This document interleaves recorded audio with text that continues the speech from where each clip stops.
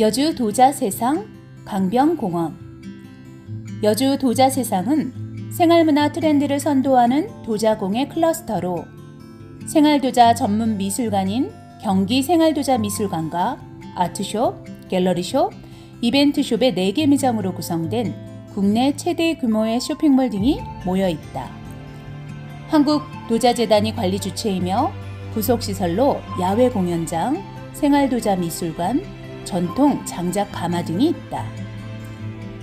2019년에 개관한 maker space 기반의 공예 창작 지원 센터는 도자, 목공, 금속, 유리공예로 창의적 아이디어를 작품화하는 플랫폼 기능을 하고 있다. 일반인에게는 도자 체험, 공예인에게는 창작과 창업 지원 공간의 역할을 한다. 인근에 있는 강변공원은 사계절 남한강변의 숲길과 이어져 산책하기 좋으며 봄에는 벚꽃이 만개한 풍경을 연출한다. 공원에는 수련으로 덮인 연못, 나무대 끝길, 물레방아 등이 있으며 신점리에서 옮겨온 지성묘가 전시되어 있다. 인근에는 천령 고찰, 실륵사가 있다.